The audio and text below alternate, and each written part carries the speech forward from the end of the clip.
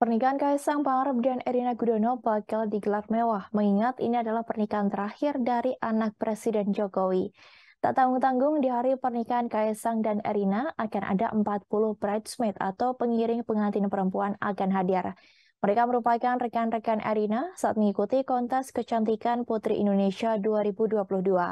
Putri Indonesia Pariwisata 2022 Adinda Graciela menyebutkan akan ada sekitar 40 putri Indonesia yang menjadi bridesmaid atau pengiring pengantin di pernikahan Kaisang Pangarep dan Erina Gudono. Adinda menyebutkan bahwa ia ditunjuk oleh Erina Gudono sebagai pengiring pengantin perempuan. Sejumlah persiapan untuk pernikahan sang sahabat pun telah dilakukan. Adinda mengatakan seragam bridesmaid sudah ada beserta beberapa pernak-pernik lainnya termasuk sanggul. Mereka sudah mempersiapkan penampilan paling cantik untuk menjadi pengiring Erina. Sebelumnya, Erina Gudono juga telah memesan 53 paket hampers bridesmaid untuk dibagikan kepada sahabat, rekan, serta koleganya di Putri Indonesia.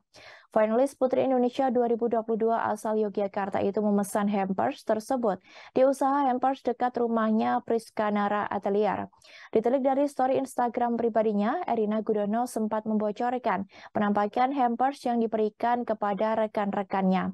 Kotak bridesmaid Erina Gudono tampak didominasi warna hijau dengan corak pohon yang rindang dengan detail bertuliskan nama calon pengantin.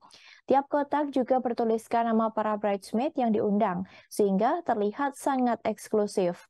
Adapun isi kotak bridesmaid Erina Gudono antara lain parfum yang dilengkapi dengan diffuser cantik. Terdapat juga tambahan set gelas dan teh sebagai isi dalam kotak bridesmaid Erina Gudono. Beberapa teman dari Erina Gudono yang sudah menerima kotak bridesmaid tersebut tampak antusias. Tanya bridesmaid diketahui terdapat ribuan relawan Presiden Joko Widodo turut meramaikan acara ngunduh mantu Kaisang Pangarep dan Erina Gudono. Para relawan tersebut akan menginap selama dua hari di asrama Haji Donohu dan Boyolali. Mereka akan menginap pada Sabtu 10 Desember 2022 dan Minggu 11 Desember 2022 mendatang. Kabar itu disampaikan oleh Kepala Unit Pengelola Asrama Haji Donohu dan Bambang Sumanto.